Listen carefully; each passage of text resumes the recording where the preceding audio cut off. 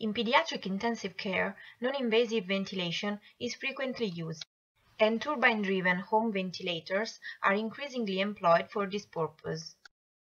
With this type of ventilators, you can choose between double-limb and single-limb respiratory circuits. Single-limb respiratory circuits do not have an expiratory branch or an expiratory valve. Therefore, expiration is allowed either by vented interfaces or whisper swivel.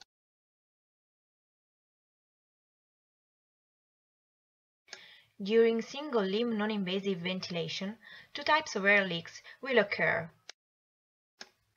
Intentional leaks, through the vented mask or the whisper swivel, occur through the entire respiratory cycle. During expiration, however, they increase as exhaled air follows this pathway. Unintentional leaks, which can be external, when the applied mask doesn't fit properly, internal, when a certain amount of gas enters the esophagus and stomach.